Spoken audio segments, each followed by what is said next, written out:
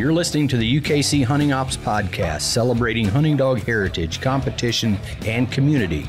United Kennel Club has been the hunting dog sports home for coonhounds, beagles, retrievers, pointers, cur, feist, and more for over 125 years.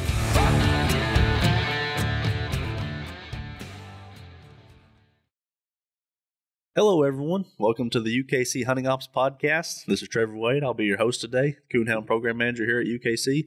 And as usual, I'm joined by Allen Gingrich, the Director of Hunting Ops. How you doing, Allen? I'm doing very well. How about you? Good, good. You've been a busy guy going to all these breed day hunts here in the last several weeks again, huh? Yeah, well, May and June is just chock full of them, but it's we talked about it a lot. It's just fun getting out and seeing uh, all the different people. Every breed day is, and every area is a different group of people that. You, honestly, at some of the breed days, you see people once a year. They don't maybe they don't make it out to other events, maybe besides Autumn Oaks or Winter Classic, depending on where they are. But it's good to see people. Yeah, that's that's very true, and that's uh, that's an observation I always saw, always saw as well. You know, when you go to, you see a lot of them there at their breed day hunts. You don't see anywhere else, Yeah. even at Autumn Oaks or the Black and Tan days. There's a lot of Black and Tan guys that uh, go to Black and Tan days that you might not see anywhere else. But that's true for all the breeds, really. But hey, that's all good. They come support their breed, and uh, it's always. I got a chance to go down to Peru, Indiana. There, uh, you kind of stole all the breed day hunts here for you know the last couple of years, but I'm glad you enjoy going to them, and and uh, uh, you know it's. Uh, helped me a lot i've got a lot on my plate as well you know but i do miss going to some of them uh, but i had the chance to go down there to redbone days and that was a good time again seeing all the guys and everything so Yeah, you got to come down. You came down Friday after after work. I did. and uh, I did. see the the hunt portion of it. See everybody at round draw out, and then yeah then you got to conduct the uh, the auction there that they do to raise money Oh, yeah, on, yeah, yeah. on Saturday that was fun. morning. That was fun. Yep. Yeah, it, is I was wondering it, at first it looked a little light, but it ended up crowding up pretty good with people in Yeah, there. they did. You know, and it's kind of it was interesting. They raised a bunch of money for it. They used that money to help with their red book and and everything, so that helped out a little bit. Yeah. it's always a fun. Back in the day, I remember used to have a lot of fun with that. Uh, uh, Mr. Uh, Ronnie Smith from Arkansas used to be the auctioneer. He's he was the comedian. He could get you to spend money that you didn't even have. you know. But Uh, yeah, yeah, it's a good time. sure. Well, hey, talking about Red Bones a little bit, uh, like you said, it was there June 1st through 3rd, and it's a uh, familiar place for us over the past couple of years Miami County Fairgrounds in uh, northern Indiana, Peru, Indiana, uh, to be specific. And First went there with the World Championship. When was that? 2019, we, 2020? we went there 2020 and 2021. 2020, 2021. So the COVID year was the first year we went there. Turned out great. We Yeah. turned around and went right back to it the next year. Two years in a row, no dead casts. Uh, some of the best hunting there is in the country. You can't ask, and just a strong group of people. And Yep. within an hour of there, there's so so much hunting and so many coon hunters. Yeah, just about an hour north of Indianapolis. Uh, yeah, just a great, great area. Since then, now they've had other breed day hunts. They've had uh, what all have they had? Black and tan days, Black uh, and red Tan Days, days. was there. Redbone Days was there this year. Of course, Rochester down the road, which isn't 20 less than 20 minutes from there, 15, 20 minutes Right. from there. Had Walker Days a couple times. So that area, and, and there's uh, multiple clubs there that work together. I think for Redbone Days, the uh, Prairie Timber Club in Monticello and the Cass County Club there in Logansport were Yep.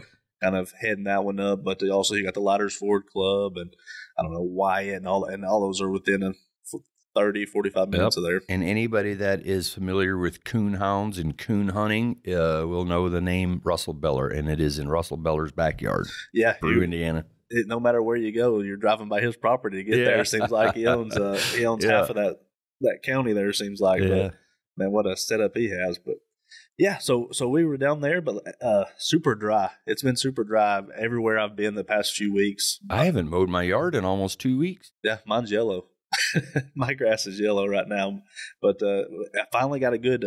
I think uh, yesterday I just got back from uh, English Days down in Flora, Illinois, at Charlie Brown Park, and uh, the whole drive back it rained. So hopefully that means that uh, Yeah. for the hunt this coming weekend, the hunt the hunt conditions will be a little bit better. A little bit of moisture surely help, but I'm sure it got soaked right up. Yeah.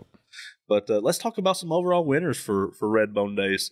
Um, the the overall night hunt winner is a dog that uh, I've been seeing a lot on the circuit lately. Had multiple breed day events, some major events, and that's field champion, water champion, grand night champion, show champion, Butternut Creek Red Badger. Uh, it's a redbone male owned by Marlon Martin in Michigan.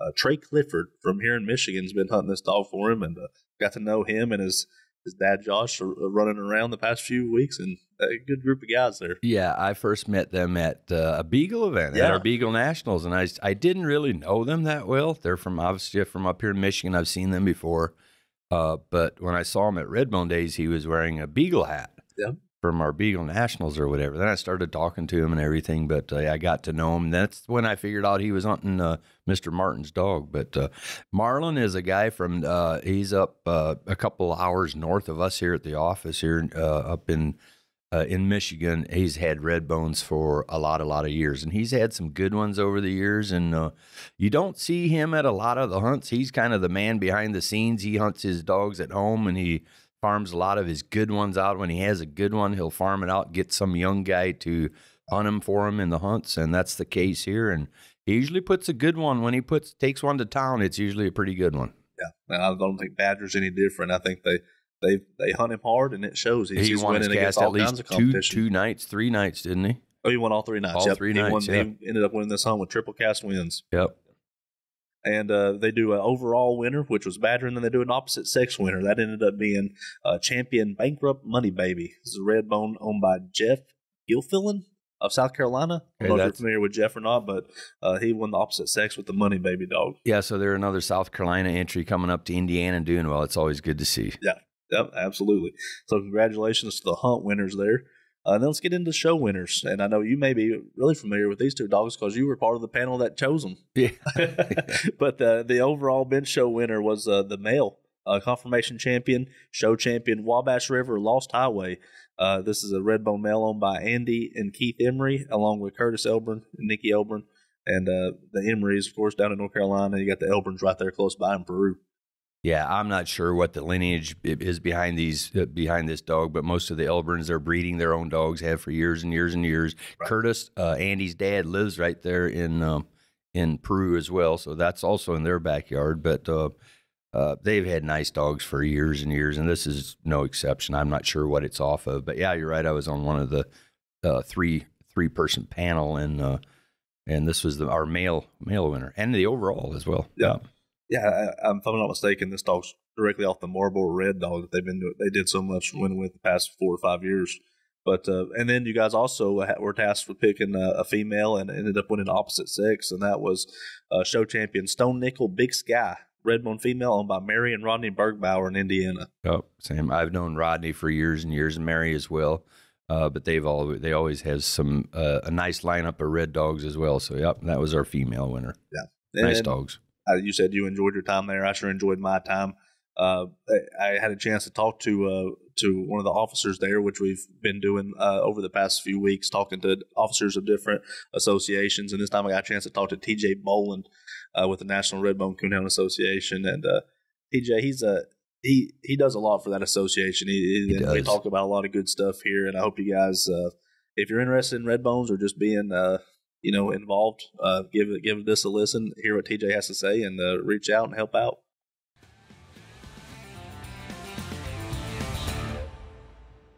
All right, y'all. I'm sitting here at National Redbone Days in uh, Peru, Indiana, with Mr. TJ Bolin of the National Red Redbone Coonhound Association. How's it going, TJ? Oh, doing good here. A little bit tired, but it's real good though. Yeah. So, so what do you? What are you here for the Redbone Association? What What's your job here? I'm the secretary treasurer for the National Redbone Association. So that means you do a little bit of everything. Something like that. Yeah. yeah. So, uh, so hey, first tell us a little bit about you. How did you get into coon hunting? How'd you get into red dogs? Well, uh, I've been in the Red Bones uh, since I was about nine years old. Uh, uh, I had a hip injury, and an old man uh, lived down the road. Thought it would be good uh, physical therapy to get a dog, so I uh, got a little red bone female, and the rest is history. And uh, I've had a couple of those since, I think. So. yeah. And your dad, your dad's been a Redbone man the whole We- time. we started the same time. Okay. You know, he'd been around, you know, the guys that hunted and had dogs and stuff, but that dog there that we got in around 1997 was first dog that we had. Yeah, very cool. I guess I didn't know that. so, uh, so you were competing with the Redbones at that time, or how long did it take you to get into the competition side of things? Pretty quickly following that, that that dog was a red bone, was a red bone female. Yeah. And um, she was, like I said, she was nearly a year old when we got her, and I would say within that year, year and a half, we were competing with her. we didn't really know what we were doing. And looking back, we didn't realize how good a dog we had. But that's part of the reason why I've stuck with red bones is because, uh, uh, you know, it's it's just fun to win with a red bone. Everybody has a. It seems like everybody's got a walker dog. I, I guess I like a challenge, and Yeah. I want to. I want to have a, a red bone that competes, and that's that's something that I've always enjoyed doing was uh, going out on the cast and just being able to be competitive.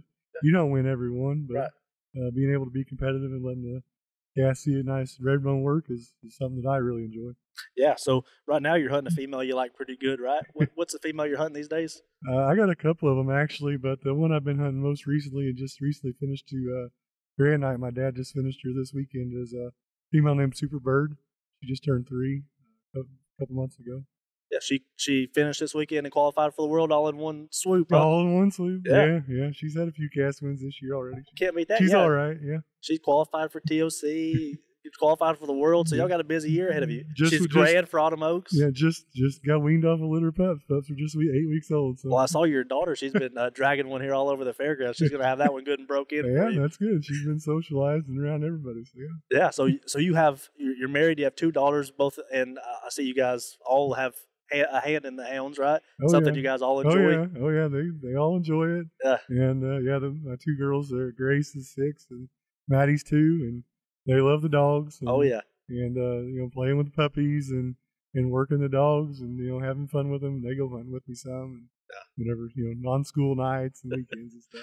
Yeah. So today, today's Friday, so we're still pretty early in the weekend, but uh, your your oldest daughter was out here handing out uh, the trophies for the show, so I got a pretty good kick out of that. She did a Yeah, she did a real good job. she really enjoyed that. Yeah.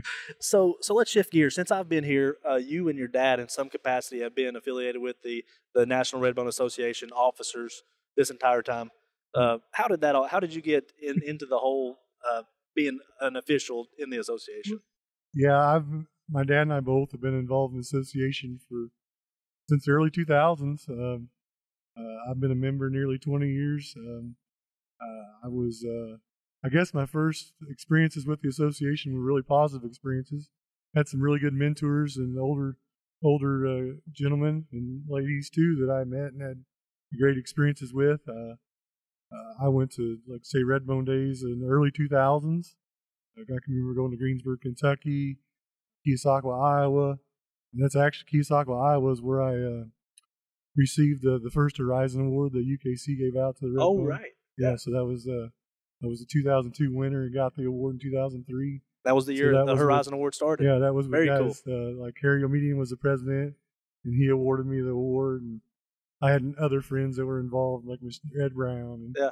some of the other Mike Markham, you know, guys like that that uh, either passed away or still involved in the association in some capacity now. Right. You know, they were uh, uh, so.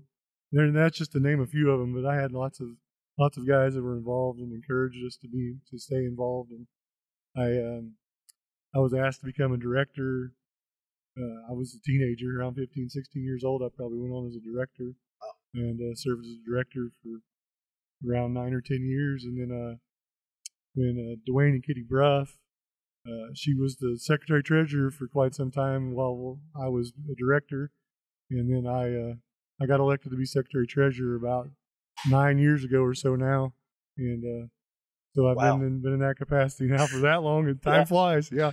About to have your decade. yeah, almost. Yeah, yeah.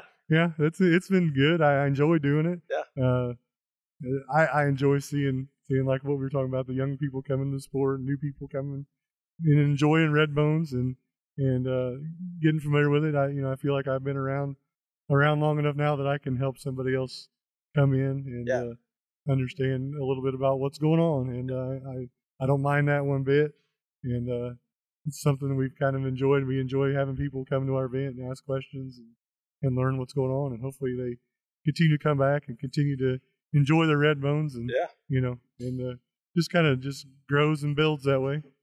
You talk about being the first Horizon Award uh, member and Harry taking your picture, and then today you got you're the one who awarded the Horizon Yeah. Award. It was a Miss Bryn Posey, right? Yeah, That got yeah. awarded the Horizon Yeah. Award today. Yeah, Kind of come full circle on you. yeah, it has. I gave a couple of those out now, and I kind of of really enjoy it because I have, ties to that. Yeah. Well, you, you work with kids, right? Oh, so yeah, so the youth is something you're I- used to dealing with youth, and that's a big part of your life. Yeah, yeah. I'm a high school ag teacher, uh, you know, near where I live in, in Southern Illinois, and uh, I deal with high school, you know, nine through twelve graders on a daily basis, and uh, I enjoy working with kids of all ages, though. But yeah, it's something I, I really truly enjoy. Yeah, absolutely. so let's let's talk a little bit about the association. Um, the National Redbone Coonhound Association has been around for a long time. It's the chartered Redbone Breed Association for uh for UKC.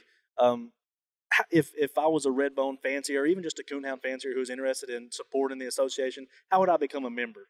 Well, there's a there's a few different ways, but the the you, know, you can of course find my information online or you know through our Facebook group, the National Redbone Association Facebook group is pretty active. My wife Casey helps me run that and pretty much runs it and posts a lot of information on there. And there's things attached to the top, you know, like to this to the top of that page that you know links to where you can pay on your membership online now and links to our website to find all the contact information of of our um, officers and directors and things of that nature.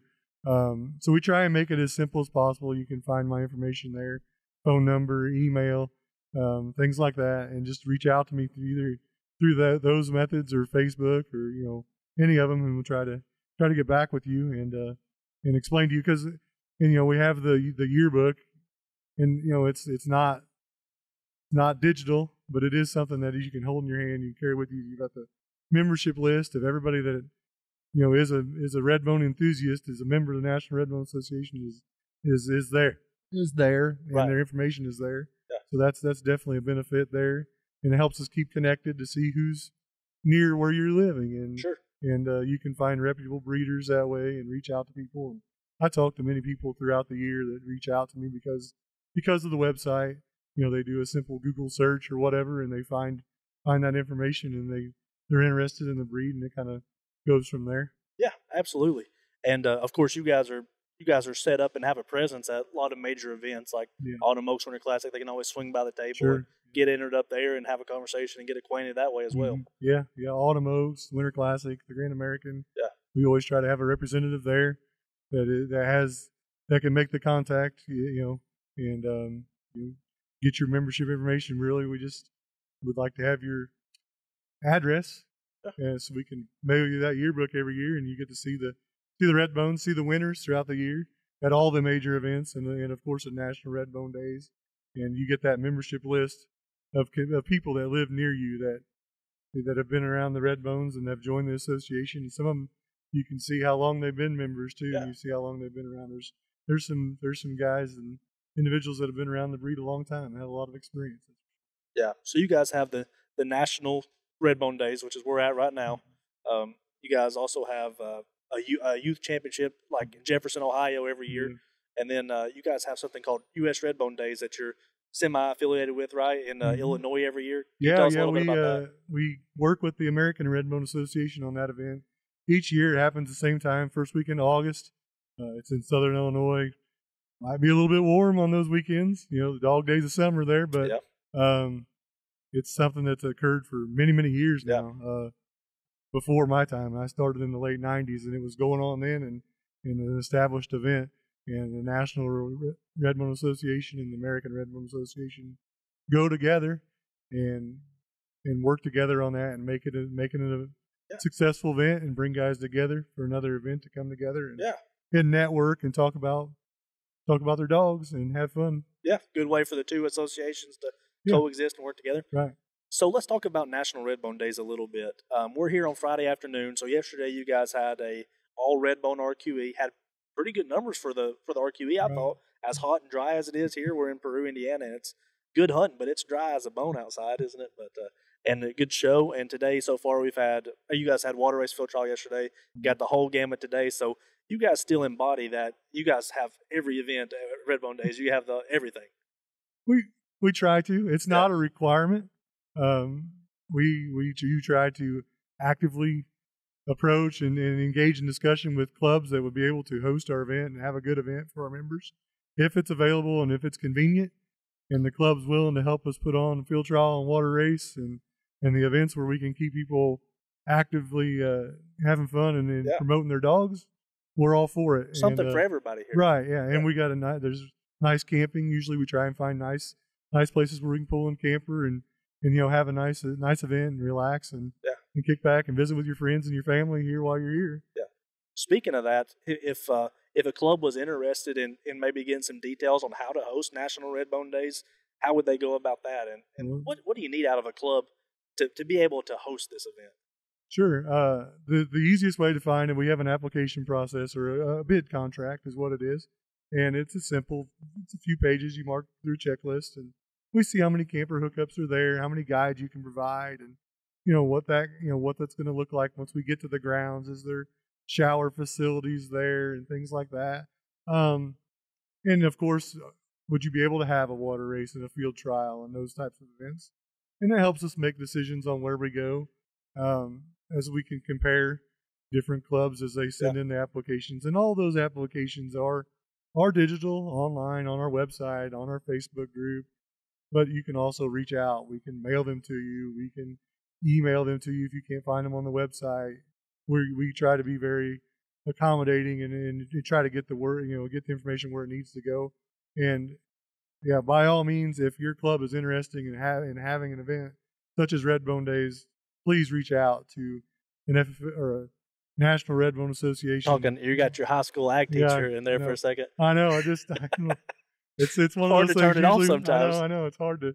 It's uh, yeah, definitely for sure. But uh, yeah, like last night we had uh 57 dogs, and and we we ranged from Which was all red bones last night. all red bones. Yeah. Uh, tonight we'll have a large event. Yeah. Uh, it's hard to gauge what we'll have, but there's going to be a large There's gonna be a lot of local locals come out tonight. Yeah. and uh, so we've had a, around 50 to 60 dogs on the, on the Thursday night event. It's going to be a little larger on Friday, and then Saturday might fall off a little bit. So it's not a huge event, but there you know there's some dogs that's got to go to the woods. So you're talking 15, 20 casts possibly. Yeah. usually, and uh, we're looking at a June date for the next couple of years now. Yeah. The, the last weekend in June is what the board of directors decided to go with this morning. Um, so we're looking at summer, good weather. Hopefully, might be a little warm. Kids are out of school. Kids are out of school. A lot of kids here this weekend. A lot of kids here. Our kids shows have been a lot of fun to watch. A lot of smiling faces. Yeah. yeah. Yeah, we've had all of our. We're looking at the benches now. We've had all those benches full. Had lines waiting to get on the benches. Yeah, good It's stuff. been fun. Yeah, so and they've been enjoying it. And, uh, yeah, been a good time with that. And they they're going out there to the field trial and water race and watching that too. Yeah. And taking part in that. And I think that's a lot of it is uh, growing that that next generation and getting them involved so they can so they can carry on and see what it's all about too. And so uh, we got done. You guys have your meeting here on Friday afternoon. Is there anything new that any new news really from the meeting that came out besides maybe lo- the location of next year? I know we we'll talk about that, but is there anything else new on the horizon for the association that you're looking into? Really? Not really. We're just trying to uh, just trying to have good events for our members Yeah. and for the people that come and attend and support our events. Yeah. that's the main goal every time we we have uh, we have Red Bone Days every year. Is we want to provide a quality event, whether it's the show or the hunt or the or anything in between. Yeah. Uh, those are the main goals. We want people to go out and have a good time, have a fair chance, and uh, be put in good good hunting and uh, have a good guides and, and things of that nature. That's that's one thing that we really strive to achieve each year. Yeah. So you had the meeting. You had the meeting today. Tomorrow, you guys, uh, you guys have the auction, which is something uh, none of the other breed associations do that I'm aware of, as far as having a, an auction to raise mo- money for the association, and that's been happening for forever. Long time, as long as I've been Yeah. around, and I've been around a little while now. yeah. Um, and it's something that we fundraise for the association with. Sometimes we say it's for the red book and to help offset the cost to have that nice that nice red book. We we have that little extra money, and it's fun. A lot of the guys just want to want to support. I've seen I've seen watermelons bring a hundred dollars and things of that Yep. nature, and get cut up and passed around just to have fun and have have uh, have things like that. And uh, you know, and then there's other things, pocket knives and things of that nature, and you know, and anything that a coon hunter thing, you know, or they might be interested in. And uh, I've seen lots of those things donated. Yeah, you know, and usually your vendors and your you know your leashes and your Yeah. your vests and things like that. Sometimes you know coon hunters need lots of uh, Oh yeah. You gotta have accessories of. And things like out. that nature. Yeah, we got to have something new like that around every once in a while. But, That's uh, right. And you know, we've seen like even uh, stud fees to dogs or even semen Some show up on old year. time. Yeah, puppies. I've seen Yeah. puppies come on auctions, and uh, you know that just it's just a fun thing that we do, and it, it's it's something that the the Redbone people are used to. It happens not only at our association at national, but the American Redbone Association Yeah. does it as well. So I guess the Redbone guys like a good auction. and uh, our old uh, our old uh, Redbone friend, Mr. Allen Gingrich at UKC, I heard is coming to our uh, auction tomorrow, and uh, I heard he's going to get his uh, yodeling voice out and be the auctioneer. I heard. So. Yeah, well, I know this will this will come out after it's over, but this is a warning for anybody who may be listening to us around. You better have your money tomorrow because Allen's going to pull it out of you. yeah, So, it's all in good fun, and, and we do it just to, just to just support and have a good time. well, like like we talked about earlier, there's there's a little bit of something for everybody here. Even if even if you have a dog that's not ready for the hunts, come out and swim or show the dog or d- uh, just be, get in the auction, bring something for the auction, do some bid, and just come out and have some fun. It's a nice family atmosphere. And It's a good time. So I, I encourage anybody to to reach out to the to the National Redbone Association, get entered up, be a member, be active, and uh, be part of the numbers of you know it's a it's a there's not many of us out there, so you got to be strong, got to stay together. So Just come out and meet somebody new. Yeah. That's the big thing is you don't see these. You might see them on social media or things like that, or be able to follow them. But when you can actually see them in person or go hunting with their dog and uh, things like that, uh, that's that's a big deal, and that's why we do Redbone Days. It's it's to uh, promote and you know to have better dogs. Yep. Is the main reason why we have it, and so bringing our people together where they they can network and become friends and, and then build relationships goes a long way. Yep, well, I, I guess we've just about covered. Is there anything else you want to say on behalf of the association or yourself? No, I just want to thank you for your time, Trevor. and Thank you for putting me behind this mic. And uh, Well, I, I'm glad we got a chance to talk about it. It's a good way to get uh, information to people who may not know about the association. But uh, I guess a lot of people who weren't here in the meeting today may not know where this event's headed next year. You want to tell us where and when this event's going to be next year for anybody Uh, listening? next year, this uh, this event will be in uh, Tell City, Indiana, the last weekend of June. Yeah, I think it's 27 through 29. So go ahead and put in those vacation days at work, circle it on the schedule, and uh, uh, come out and see the Redbone guys. It's a fun time here. So appreciate you sitting down with me, TJ. Thank you, Ha- Have a good rest of the weekend. You too. Thank you.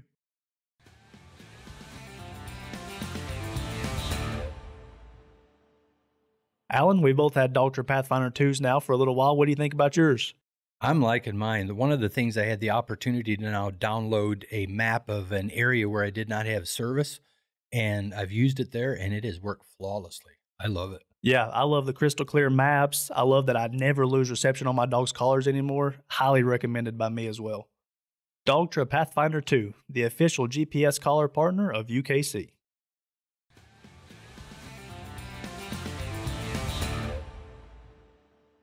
Yeah, so there, I hope you enjoyed that uh, interview with TJ. Uh, yeah, he's just a great guy, isn't he? You know, I got to know TJ a long, long time ago when he actually, when I first joined the Redbone Association, his dad, mom were uh, uh, members back then already. Uh, Tim uh, Bolin and uh, TJ was just a young kid. Yeah. I remember when he had his first, one of his first dogs he competed with was a female named Joanne. And she was a pretty nice dog. He did quite a bit of winning, but just a good young kid. When I say young kid, I'm talking a teenager, you know, just 14, 15 years old and they had uh, uh, at at the time I was uh, uh, one of the officers and did the Horizon Award, and uh, the first uh, my first recipient for the Horizon Award was actually TJ. Come full circle. It has because now he's you know this year you probably saw him he's now uh, awarding that Horizon Award, so that's kind of cool. But yeah, he's grown up to be a a good steward of the breed and doing a lot for their association. Absolutely. And it turned out he was a really good pick for that Horizon Award with all he's done for the breed since. Uh, let's shift gears into English days. Uh, fresh on my mind, I'm just here off of it. Uh, that was June 7th through 10th. They're in Flora, Illinois, a place that is synonymous with coon hunting. They host a lot of major events, and uh, they got it down to a T. Uh, they had really good entry numbers there this weekend. They, they were up every night from last year substantially. Um, Friday, I think they put something like 128, 129 dogs in the woods, and they and just the network of guides and everything they had. They had the cast drawn out in 10 minutes, Yeah. and they were calling cast by. I think the deadline was seven, and they called cast out like at seven thirteen or something. Yeah, that's a combination of both the association, the guys helping run the association involved with the hunt, and the guide network there at, at Flora. You know, and most of the breed associations do a, do all of them do a good job, but there's some of them that are just you know they they have a network of their uh, everybody has their job or whatever as far as the association members officers the the English Association. There's very few that do it any better. Than than they do. Yeah, and we're going to talk. I think we're going to uh, do a segment at some point talking about taking entries. But the way they do it is, and like you say, there's a lot of cl- uh, clubs that do it like this, but you can't do it really quick unless you do stuff efficiently. And, and, you know, every table there's a registered table, a night champion table, and a grand night table for this charter breed. They have a chance to to split their champion entries. And as people are entering, they're marking who the guides are. They got a they got a stack of their guides. They're marking who their judges are. They got a stack of uh, judges, and then they got their their pool of entries here. And when you do that, it makes it really easy It for does. They've got it together. Yeah, It's not just getting all their entries and throwing it in a box here, you know, and then separating everything later, you know. Yeah. They know what they're doing. yeah. If you're doing it as you go, you can save yourself a lot of time on the back end. So. Uh, but uh, let's talk about some of the winners. Uh, the the overall winner and the queen of hunt of the weekend was night champion Cabin Creek Wacky Jackie. It's an English female owned by David Minson of Oklahoma. Yeah, good for him. Here's another out of state dog comes comes over and does well there. I don't know either one, so I'm sure you can maybe fill us in more than I can on this. Uh, yeah. Well, I, I got to see David there, and he, he was he was ecstatic. He said, "This is this is the top of my resume." There on Saturday night, I think he had uh, five five twenty five on on Friday. Ended up having a thousand plus points on uh, on Saturday. It was the highest score of the entire weekend, and uh, uh, kind of ran away with the with the fem- the female portion of it, and, and edged out uh, our king of hunt in the in the overall portion of it. But he was there with uh, with uh, Kirby, uh, John Kirby from Oklahoma. They were Oh, they yeah. rode it together, and uh, good thing John said he was just around to tote trophies for him. Yes, because he, he had four or five trophies in Yeah. their hands walking out of there. So yeah, and a tail congratulations those guys. probably. Yeah, That's right. Kirby's just a great. He's a great guy. And uh, our opposite sex is uh, no stranger to the English breed, and I was happy for these guys. Opposite sex at King of Hunt was Grand Night Champion Two, Briar Creek Steel Drum, an English male owned by Chris Girth and Jim Ridge of Indiana. Yeah, that name Briar Creek is synonymous to the English breed. You know, has been for a lot, a lot of years. You know, uh, Jim is the uh, he's a he's a one of the old patriarchs of the breed. You know, so to speak. Yeah. I guess he's a uh, I would call him a living legend. I guess Sure. done so much for and uh, goes back uh, years and years and years. You know, and has had a lot of success with his English hounds. And his uh, son-in-law Chris uh, has a, uh, a vendor business, hunting hunting store, and everything, and just a good guy as well. And um, hunts a lot, hard hunter, and has always got a dog ready for the hunts. And he's been doing it quite a bit with drum. You know, we talk about uh, good vibes and good karma and things like that after seeing how much they donated to the English Association for the Champions Classic, and then you got the the youth stuff that they put on and how much stuff they they gave back, and then to see them have a good win like this, uh, I was happy to see it. They they ended up scoring just around 500, 550 each night for a total of 1,075, I think was their their final uh, score for the for the two nights combined, and uh, sitting around there waiting for everybody to roll in. There was multiple male cast winners, so nobody Yeah. knew who the who the overall winner was going to be. But I had a chance to talk to Jim there and Jim Frederick, the the Flora Illinois uh, uh, club officer, and I, I was wondering how many times he had won it. Uh, you know, as, as long as he's been around, how many dogs? It's still not easy to win these things. And he said, honestly, uh, just to be honest with you, more people know more about my history than I remember of myself. Yeah. uh, Jim Yeah. was telling me that uh, or, uh, Jim Frederick was telling me that he, he at least won it once there in Flora when because he guided uh, Jim Reeves that night. I think it was like a little bit of uh, a dog fight or something right out of the truck where two or three of them got scratched, and Jim ended up treeing a few coons and uh, ended up having a pretty good score and win the whole thing. So he's at least won it a few times, but Yeah. I'd have to go back in the, in the history to see how many times he's won it. But well deserved for them. Yeah, for sure. You know, Chris, we talk about Chris a little bit, and we, we talk sometimes about uh, folks that are good stewards of the sport, and Chris is one of those. You know, he, he always, he never backs down from when somebody asks him to help guide or to help judge and things like that. Whether it's Autumn Oaks, the World Hunt, or at an, any an event like that, he always steps up, and it's uh, just a good ambassador of the sport. As Jim was when he was younger, you know. So Uh, let's shift gears to the show a little bit. Our king of show for the for the weekend was Grand Champion Newhart Running Man Zeke, an English male owned by Stacy Ragsdale of Iowa. Hey, good for her. That's a nice dog. That dog's older already, and the dog's Yeah. been winning for uh, ever since she brought him up. A white dog, kind of an open, open uh, colored dog, white. Yeah. Uh, but yeah, nice hound. Yeah, congratulations to her. Mm-hmm. And uh, the queen of show was uh, a registered dog. I think it made champion this weekend there at English Days. Bear Branch Lou's Little Dimple, an English female owned by Michael Seats of Illinois. Yeah. Well, that Bear Branch name is very synonymous as well. You know. Mike's been around forever and ever, and uh, has a lot has had a lot of success with uh, with the shows. I think he just had one that made a Hall of Fame that we talked about in one of our recent episodes. But Mike's had a lot of good English hounds down through the years. I'll come back to Mike in, in just a second, but let's go through. Uh, they they do a little bit more there at English Day, so I want to talk about all their overall winners. Mhm. One of the things that I'll we'll, we'll touch in the interview we're going to play in a second is their uh, kind of champions hunt on uh, Thursday, an invitational style hunt that you have to qualify for through the year at their sectionals or major events.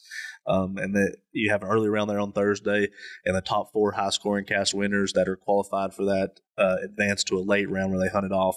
And this year, uh, Roy Rogers, uh, he, he owns co owns this dog with his wife Anita. From Arkansas. That's right. Ended up winning it with Grand Night Champion Four, Little Miss Dolly. I think uh, Cole Ramey was handling this dog Oh, for yeah. him, but uh, that's a good win for those guys. It's well deserved. Roy is a hard hunter. He is. He is. Now there's one guy that we see at a lot of events. Yes, sir. he's he's always at English days, but he's always at at our events, Autumn Oaks, the Winter Classic. He seems like every year he gets a dog in the World Finals.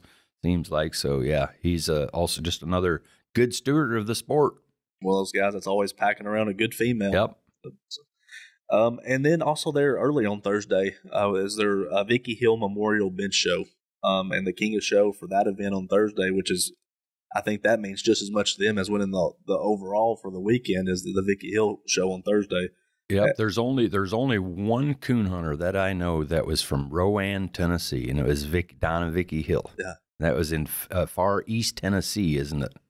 Pretty much on the line. I remember going uh, went right through it going to uh, the Grand American one year Oh, when we drove down there. We took a little different route, but it's over by Johnson City, Okay. over there in that area. I got you. Ro- Ro- I don't know if they call it Rowan or Roan Mountain, but uh, Yeah. yeah, That's where they're from. Huh? and it is mountainous there. the, the Yeah. name's not deceiving, huh? right? No. Well, the king of that Thursday show is a, a name that we already mentioned. Grand champion Newhart running man Zeke uh, won that show as well in the, the male portion of it. Uh, uh, that's uh, Stacy Ragsdale in Iowa winning that one as well. So congratulations on Stacy. Cleaned up this weekend at, at English Days. Um, and the reason I tabled that about Michael Seats is here's another dog out of uh, out of his dog Bear Bear Branch Bobby Lou. Uh, obviously a dog that he lost uh, a, a couple years ago now, and uh, I did a lot for him. But uh, and he, he was sure proud this weekend. You could tell whenever whenever he was getting his pictures here. But this is a a Grand Champion three sideshow Bobby Sue that Jacob Brooks down in Virginia has been showing, and that kid's doing an awesome job. He has. He's been winning a lot with that little dog. He's Jacob is probably what 14, 15? How old is he? I don't know. He's, He's a teenager. He's a foot taller than me, so Yeah. I hate to think he's that Yeah. young. But yeah, he's he is. He's can't be more than 15, 16 years old. Yeah, and just a good kid too. He's uh, wise beyond his years. He's been around dogs all his life, obviously, but uh, Very yeah, respectful kid. very, yeah, it does a great job showing dogs. Very, very talented as a as a as a dog handler. Yeah, and second year in a row that he's won this Vicky Hill Memorial Show on the on the female side of it. So Yeah, congratulations to Jacob. absolutely. And then uh, this year, they you, uh, the English Association has always done youth events, but this year they actually uh, did their English Youth Championship uh, that coincided with the event on Saturday. So they had a, a licensed youth show and a licensed uh, youth hunt on Saturday. Had really good numbers. They had 32 in the show and ended up having 14 in the hunt. So Good, great good. show out for their first Yeah, event. back in the day, they used to add that. When I was uh, still going to it, uh, back to you know before you started there, they had them on Thursday. Right. Okay. and I think it was non-licensed then. But Right. uh, yeah, so yeah, well, that's good if they can uh, if they can have enough guides and everything for it to put it on Saturday in a licensed event. Why, that's good. Yeah, absolutely. There was a uh, plenty of people that were willing to help and uh, and go out on it. And let's talk about some of their overall winners. Uh, first out, starting with the night hunt. Uh, they did a, obviously a senior and a junior uh, divisions, and they had an overall winner in each of those divisions. And our, our the senior youth winner was uh, Cooper Cordway, and he was handling a dog named Timber True Sweet Alley, an English owned by Jeffrey and Trina Philhauer of Indiana. Uh, Cooper was a, a young man, I think could be more than 14 or 15 years old. So congratulations to Cooper on his win there. And uh, the junior division winner was Caden Molina, handling a dog named uh, Champion, Grand Champion, Split Creek Susie Q HTX, uh, an English owned by Julie and Randy Cook of Indiana. They had a whole crowd there with them. There must have been uh, 10, 12 people in their picture. So it, Caden had a, a strong support system there with him that weekend. And they were having a good time. Yeah. All the, there was multiple youth there with that group, and they, they had a they had a blast that weekend. I could tell. And uh, moving on to the the show side of it, we had uh, in the the youth king of show was Garrett Fugit uh, handling his own dog. This is champion Kansas Boys Free Willie, an English, and uh, Garrett's out of Kansas, um, obviously by the dog's name there. So Garrett looked like he was a, a little bit older and uh, had a nice dog, and I always like seeing the youth handling their own dog. And to kind of uh, continue with that theme here, the next one, Chloe Gibson, who's been kind of on a roll lately, handled her uh, black and tan female grand champion C&M's Outlaw Della Rose as she cones with Misty Yarrington uh, to a Queen of Show victory there. So congratulations to all the youth over the, over the weekend. Congratulations to all the winners over the weekend. It was a, a, great weekend in Flora, and uh, and uh, I had a chance there to talk to. It was a busy weekend, especially on Saturday. But I want I like to wait till after the meeting to have these interviews to see what comes out new, if any new businesses brought to the table that they may want to discuss. But I was after they drew cast, I was able to to pull away uh, Philip King, the younger Philip King, um, to and also Troy Shellhorn, who who's a member, of, who's a board member, and also uh, running for the office of president right now. Uh, both were very active that weekend and, and had a good had their finger on the pulse of everything that was going on. So I was able to conduct interviews with both of them at the same time there after we drew cast, and I think you guys are going to enjoy this interview with Philip and Troy.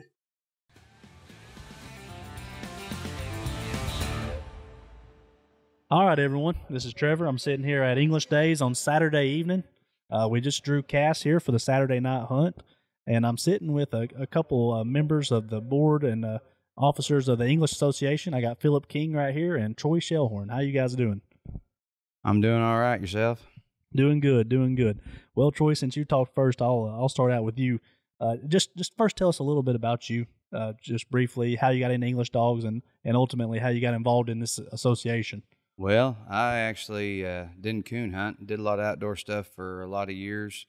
Uh, deer hunted, did stuff like that, and then uh, good friend of mine, and he's actually my boss, Shane Cannon, actually got me involved in the coon hounds when he moved up there, and uh, he uh, had English dogs turn me on to him, and been hunting them ever since. And then been coming out to English days for several years, Autumn Oaks, several of the big ones, and then last year I got voted on the board of directors with the association. Yeah, yeah, great. So you're just a new new uh, board member, but already kind of proving throwing your weight around. I see you guys been you've been real active on social media, uh, getting information out to people. Uh, you've been working hard, getting sponsorships for folks. So, so not just uh, one of the board members who, who kind of sit around and, and twiddle their thumbs, but you've been uh, you've been working hard to, to get it going. I think. Well, we're trying, but did you notice he put in a weight joke there about me? I just wanted to see if you caught that little Phil. but no, man, it's uh, got in the association, got several good people trying to help run this. Uh, they asked if I'd take over the youth association, and we uh, I said I would, and we started and came up with the idea that we'd have a sanctioned hunt, and we rolled with it. Uh, the sponsors that we've had for this and the people that stepped up and donated has been just great. Uh, today and well, this week we had uh, two raffles raffled off a thermal and a custom made knife by Jesse Harrison, who was a Forged in Fire finalist. And uh, between those raffles and then had another knife donated by Tom Corbett, we raised $1,700 to start off the new year for wow. the Youth Association. So uh, I'm hoping that everybody will come back next year and we can make her bigger and better next year and keep on rolling from that. Absolutely. Well, we got another one here sitting with me. This is uh, Philip King. Uh, Philip, tell us a little bit about you. Tell us uh, how you got started in English Hounds and ultimately how you got into the association. Um, everybody in the English breed knows my Uncle Phil. He's the treasurer of the association. He started me out. I was four or five when he took me hunting the first time, and that's what he hunts, and that's it. Just kind of blossomed from there. And uh, you, you kind of have you been a uh, how long have you been a part of the uh, uh English Association as far as board or officers go? I was uh, put in by the vice president or by the president last year as the interim vice president when ours stepped away, and this June started my first elected year. Nice, nice. So you you got a couple more years yet on your term, huh? Yes, sir. well, hey, you've been doing a good job. I know the past couple years you uh, been in here running the show, and it seems like everything's went real smooth. So everything's going good. Looks like. Well, I mean, I, it, an army's only as good as the ship it's riding, and we've got a good group, and we've That's got a right. good club here at Flora, and you know, they everybody works hard, and it it just makes for a good smooth weekend. Yeah. Well, hey, you talked about uh, just well. Let's just talk about the association as a whole. You know, the the board and the, the officers goes a long way, but also uh, an active membership goes a long way as well. Uh, people being here, being active, donating, uh, bidding on the raffles uh, or in auctions, buying raffle tickets, entering in the events. Let's talk about. Uh, I guess first, first off, uh, to to join the United English Breeders and Fanciers Association, how how would I join and be a member if I wasn't already? Well, um, you can get on our website, which is u, uebfa.com, and we have a a membership page on there, and you can pay through PayPal or several. I think it's just PayPal. Uh, should be Venmo and Cash App on there as well. Uh, Big Phil added that just so everybody had the, we had all the options. Yeah, or you can contact our membership chairman, which is Andrea Washburn, and uh, you know she she can hook you right up, and, and you know we'll get you. You know, once you join on on the the website, you know they'll mail you a membership card out, and our membership's a little a year is a little different than a lot of associations. We run June first to June first. Okay. You know, we coincide it. We started last year. It coincides with our English days, so you it starts at English days and ends at English days. I got you. And and also outside of that, you can also you guys are always have a representative at Grand American, Winter Classic, Autumn Oaks, uh, all those places at a table membership table to answer questions about the association and take memberships there as well. Yep, sure do, and they even got the mail-in option as well. Let's not forget that. There still is that, that. There still is that option available. Yeah, yeah. You got you mentioned the website briefly, and you guys kind of had a revamp of the website here in the past year. And man, uh, I don't, I can't remember. I think it was Perry Fraser's daughter maybe that did that, and man, what a job she did. Yeah, Claudia, it uh, it's a completely different animal now. You can get on there, and there's pictures of just about every Hall of Fame dog that we have voted in. Um, our lifetime achievement winners. There's all kinds of information. Um, the membership directory's on there. I mean, she does a really good job with it. And uh, Perry keeps the membership. Perry's the membership director, or what is the was the membership chairman. It's Andrea Washburn now, but they've done a really good job with it. And uh, it's, there's a lot of useful information. If there's something you want to know about the association, that's a good place to find it. Or you can pick up one of our yearbooks, and you know, every you know, a lot of the same stuff's in there. Yeah, I like the website so inter- interactive. You can see all the old pictures of past winners or Hall of Fame dogs and all that good stuff. It's good stuff. Um, so so talking about and also let's let's not uh, forget to mention the Facebook page. If somebody's you know obviously most everybody has Facebook, and you guys have a pretty active presence on on the uh, Facebook page. What's what's the Facebook page? Where can people find that? UEBFA memberships. Yeah. And uh, I've been doing my best to try to keep that updated all week long uh, with the dogs going to the woods, bench show results, everything possible that I could think of. A lot of pictures. Um, if anybody wants to get on there and go back and read the Final Four play by play from our invitational hunt, it's on there. Um, just trying to stay active. We got several people to get on there commenting, and anybody got any questions, Yeah. You can get on there or you can be, feel free to message any of us. We're more than happy to answer questions.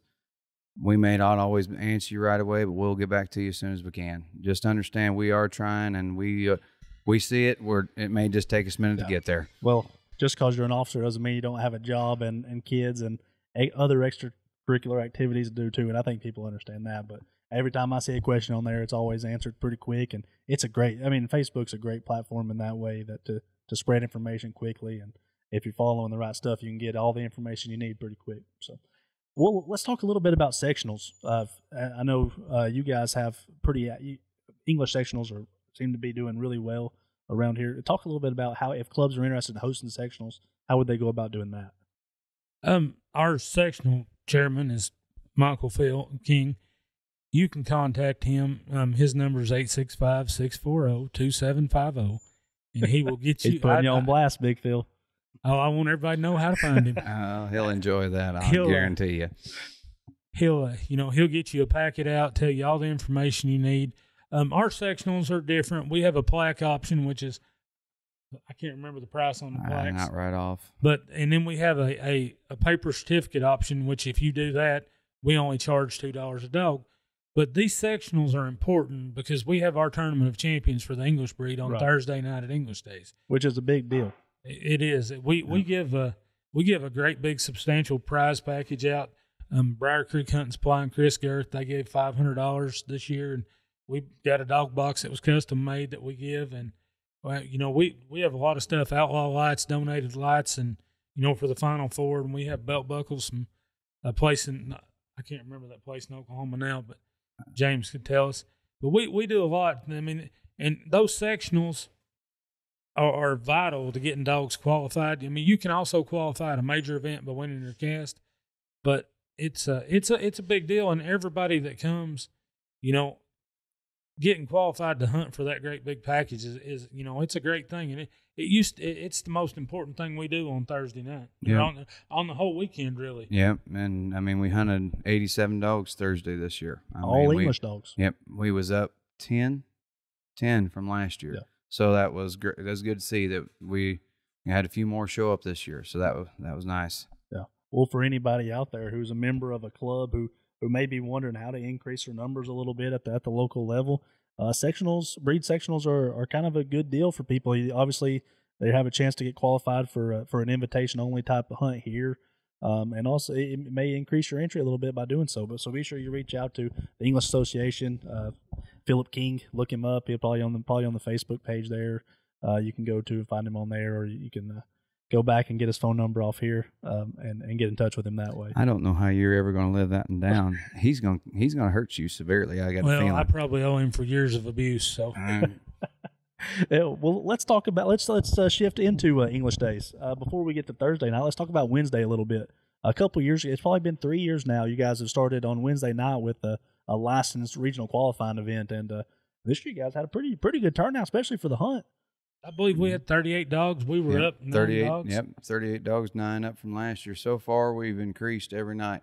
Yeah. Um, counting tonight, we put in 101 in the woods, counting the youth hunt tonight. I think we were 40 dogs up from last year for the total, not counting the youth event. Yeah. Yeah, we we've done we've done good this year on increasing numbers. It- Yeah. It's showing. Well, anytime it's showing an upward trajectory and not a downward trajectory, you got to be happy about that. But I think the the RQE on Wednesday night not only does it give people a chance to qualify for a world for the world, but a lot of people get up here on Wednesday and they have a chance to uh to hunt under the umbrella of the permit here and and do it uh, legally without having to buy a license. So it's a good deal for everybody. So so a good idea by by the association. Um, on Thursday, you got your invitational type stuff, and it starts out with the bench show, uh, Vicky Hill Memorial Bench Show, which I know is a big deal to English enthusiasts. She was a, uh, Vicky and Don Hill both had a, a big impact on the English breed, so that show is is a big deal. It's it's almost uh, almost comparable to winning the King of King and Queen of the whole show. Um, and then I don't know if you want to talk about the show at all, but how how do you qualify for the show? Um, you the the, the Vicky Hill Memorial Show. It's Is it open to everyone? it's open, just Okay. all English dogs.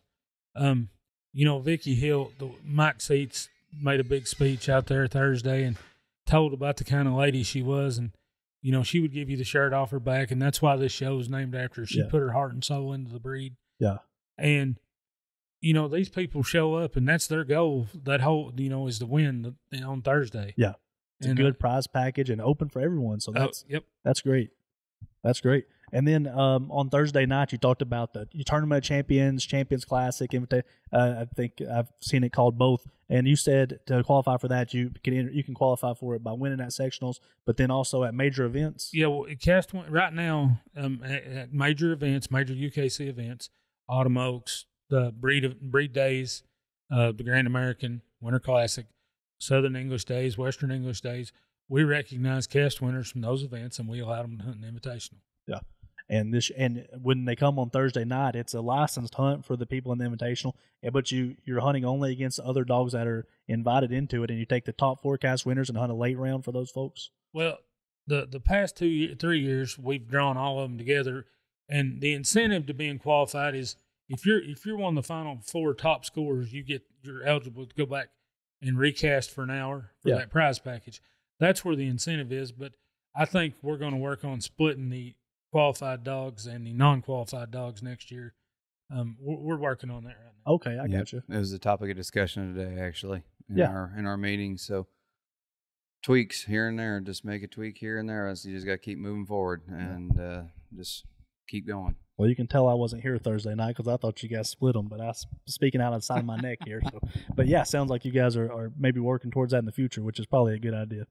Um, so then obviously on Friday and Saturday night you got your regular bench show and night hunt. Everybody knows about that, but you guys kind of do a little bit something different on Saturday night to try to keep the uh, the attendance up because everybody knows if if you don't win on Friday, everybody packs up and heads home. But you guys have kind of tried to give a little incentive for people to stick around on Saturday night by offering an added purse for those folks. Yep, five hundred dollar added purse. Yeah, and that's uh, Saturday night's all that matters on that one. Yep. Yep, High that's scoring good. dog is it regardless of breed or is it for uh, English Yep. dogs only? It it's high scoring dog from Friday or Saturday night. It's high scoring dogs, but it's does not matter the breed, but all the owners and the handler must be a member of the English Association. Yeah. Well, there you go. If you're uh, if you're confident in your dog and what you got on the end of your leash, uh, twenty. uh, How much is the membership? Thirty dollars. Thirty. Uh, twenty. Or Thirty you- dollar Or if you don't want a mem- or if you don't want a yearbook, twenty five. Okay. So Okay. we we added that in there this year. That if you don't, just we had several guys last year that showed up and said, "Hey, we're here for the added money." Yeah. And all right, well, you got to be a member. So Yeah. we put that in there, so we didn't have to send out so many yearbooks, and they didn't really probably want them anyway to begin with. So they wanted one thing, but we changed that on there, so that way you just sign up for membership and you're ready to roll. Well, hey, that's a pretty good idea. That's a pre- that's a pretty good idea. Um, so let's let's you you mentioned the the youth brief uh, briefly. You guys have you guys seem like you've had a youth cast here uh, in the past non licensed, but this year you decided to do kind of an English breed champ a youth championship on on Saturday. Uh, you guys just had 32 dogs in the show, Thirty-two dogs in the show, eighteen handlers. and then how many in the hunt tonight? There's the fourteen dogs. Wow, yeah, so, yeah, three three dog casts in the senior division and two casts in the junior division. Wow, yeah, that's a great. Tur- I mean, I I don't know how you guys feel about that, but that's a great turnout for a first youth. event. We, I'm not gonna lie to you, I wasn't sure how many was gonna show up. Yeah. But uh, we started advertising this in February, probably. Yeah. And we just started. I just started advertising as much as we could. Membership page, my page on Facebook, just keeping it active. Yeah. Hey, remember yeah, we're having it. Hey, remember we're having this. I've talked to several people here. This is the reason why they showed up. They're not even English dog people, and they're here. Yeah, yeah. and our youth hunt that we're having on Saturday, or youth bench show in our hunt, we're can't we're, we're going to we crowned a king and queen of show regardless of breed, right. and we're going to crown a king and queen of hunt regardless of breed for the kids. You know, we hey, Troy's and Savannah Hofstetter, and we we put a, a pretty good youth hunt prize package together. I mean, nobody went away today without something in their hand. Yeah. Well, hey, the, you guys had the, the table out here behind the show during the youth show today, just decked out. I mean, you guys put a lot of thought into the prizes and everything. Do you guys want to talk about any? Uh, do you have sponsors for that? Did you guys buy a lot of that stuff, or Oh, we had so many sponsors here. Uh, I don't know where my banner went, but we actually had a you guys banner have a on it. big banner We have all, a banner on not everything. just businesses, but also individuals, individuals, every individual that donated, every business that we had that donated. Yeah, Um, we got the trophies. We got the big trophies for the overall winners. I see a bunch, a whole bunch of lights, got, hats, got trophies. lights for the hunt winners tonight. Got brand new benches for the kids that won the show for the overall king and queen. Got trophies for them. I had a trophy for each division winner, breed winner, all the way through. Uh, bowls. had you had bowls out there. And- Purina had bowls out there. We had sacks that were little drawstring bags that were made Yeah. up that was stuffed full of stuff. Uh, there was just a ton of things. It was great, and you didn't. It didn't look like a lot when we got here, but when you started unpacking things, and you're like, "Okay, we got more than I thought Yeah. we did." Well, the kids. and it meant a lot to me, and I hope it means a lot to them. I'm gonna be honest. I thought we had too much, and I was over going. I don't think we got enough. I was already debating on whether we was going to have to buy some more stuff. I can tell you that I was getting concerned. well, that's a good thing. That means there was a good turnout. Yeah. But uh, yeah, any eh, you guys have to check out the the Facebook page. Uh, You guys, I think you posted a picture today of Yep, I of posted the, a ta- picture of the table out there, and we're looking at the table over there, just chock full of stuff. So if you're a youth, uh, and you, you can get here, it's it's sure worth being here. Not only do you get to get the atmosphere of a major breed day, but then you, you if you're entering, you're going to get something. Seems like Yep. And you know, another thing to mention: this is the second event of the new year for the Youth Spotlight Series. yeah, because it, it's restart. It runs June to June, June to May, June first to May thirty first, the UKC Spotlight Series. So we're the second event of the year. get that early start. Yeah. Feels good. Have Yeah. that in your back pocket. That we we discussed that a lot, and the other part of it was that we we did it on decided to it on Saturday night um, because we wanted to be able to hold as many people here as possible if they was coming, and make sure that all the parents had time to get their kids there. Didn't want we talked about Thursday night because it was just an hour hunt, and it's like, well, you know, people working, they may be driving from farther away. That way, we try and give as much opportunity as we could to get everybody here that we could get here. Right. Yeah, it makes a makes a lot of sense. And so you, you just had your meeting today. Uh, I don't know, you guys. Uh, did, is there anything new that people can look forward to from the English Association? Are you working on anything new for sectionals or uh, for the event next year, or anything to speak of? Not at the current moment that I'm aware of. Just a lot. we got we got all the new Hall of Fame dogs that are up Yeah. coming on the ballot. Uh, bench dogs, hunt dogs. We got officers going to be getting voted. Board of directors going to be getting voted in. Is, officers is getting voted. anybody up for president or what? Well, somebody twisted my arm enough that it turned black, blue, and purple, and said, "You willing to do it?" And I said, "Well, I guess you've twisted long enough. I guess I'll try it." And I uh, I accepted a nomination for the president. So we'll see how that goes. Yeah, and well, we've got several officers that are going out and coming in, and we put two people on the ballot. You know, we try to find quality candidates, and it's uh, you know, we're always looking to make things bigger and better. To, you know, we're already planning for next year's youth hunt, next year's English Days. Which, speaking of next year's English Days, it will be in Flora Illinois, here again.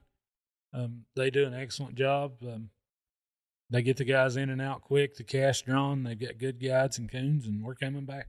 Yeah, coming back to Other than being a little dry, it's been a good week. We've had a lot of good scores. Not ain't no blowouts really for the most part. Been pretty even across the board, but it's been a good week. It's been a good week, and I'm ready to go to bed. So I know you guys have had a long week, and I appreciate you sitting down with me. But yeah, like you said, Flora next year, uh, and dang, the past couple of years it's been hot, hot, hot. So I know it's dry, but it's been nice to have a little bit cooler weather this week. last weekend. year wasn't bad comparative to two years ago. Two years ago, uh, I think half our people went home on Friday night because it was so hot. It was it was miserable, and uh, hopefully we can keep that streak of good weather going. Just a little wetter next time, maybe might be a little bit appreciated. Yeah.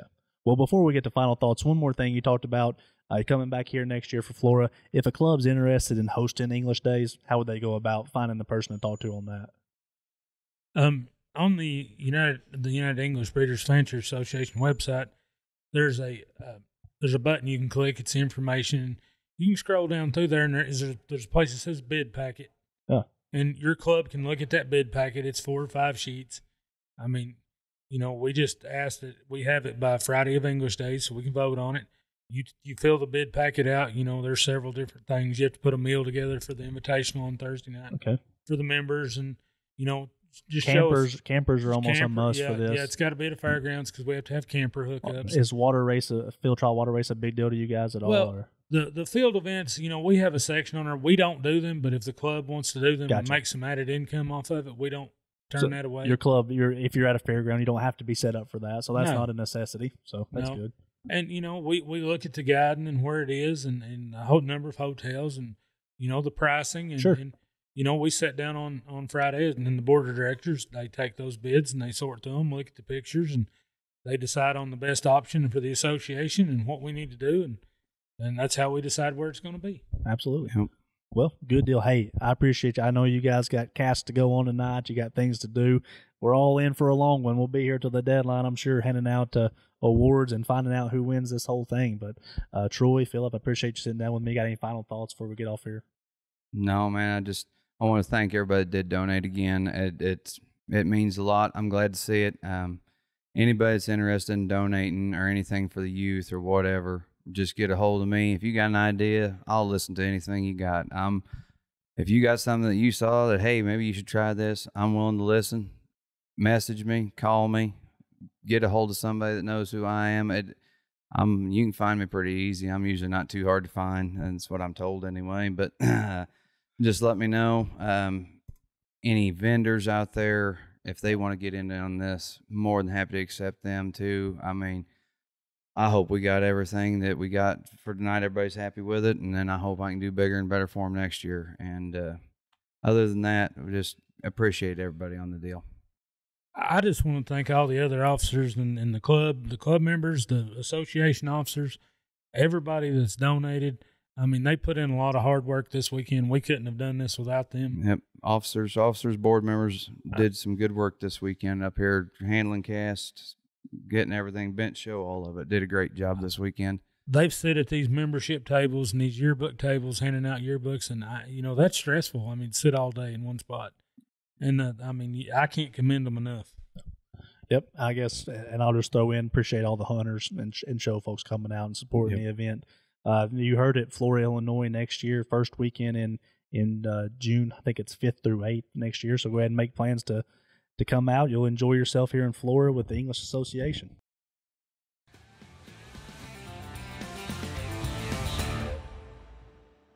Yeah, yeah, that was an interesting listen there. You know, Philip has been around for a long, long time. You know, and he's kind of taken, he's kind of stepped it up. You know, and and uh, uh, you know, serving the English uh, Association well. He's uh, he's all in, wants everything to go well, and does a great job with it. Wants to make sure everything's uh, taken care of and and things go well, and put on a good event. And he uh, he knows uh, what it takes to put on a good event for sure. Yeah, Philip, he, obviously he he he travels to a lot of major events. He's always running different races and different things, but uh, he's been working on this. He's been badgering all the uh, vendors and every and all the companies around for donations for the event and for the youth portion of the event, and he's done a great job with that. And then also you got Troy, who uh, who's became who's so active on their social media uh, platform, and I, honestly, if I could. a- Any information you needed was right there on their English Facebook page uh, that's such a useful tool for them, and he's became a big part of keeping everything on there. So with those guys like that in your in your association, you got got a they're younger, you got a bright future with them uh, leading the way for you. And a good, healthy association. Absolutely. Well, I sure hope you guys en- enjoyed this uh, episode. You know, we we got a bunch of stuff coming up that we've talked about before. We're gonna we got a bunch of rule stuff that we're gonna be talking about here after the breed day stuff is over. We got a chance to catch our breath. Uh, but I hope you guys enjoyed these interviews with the different associations. Uh, we got one more to go. We got the Plott Association coming up, and I hope we're able to, to get with somebody from the Leopard and Walker Associations in the not so distant future because we didn't have a chance to, to conduct those interviews. But uh, we all got all that on the table coming up this summer to keep you guys busy while it's uh, hot hot outside for that uh, for your hunting stuff. But uh, uh, I don't know. That's that's all I got for you today. So hope you enjoyed this episode.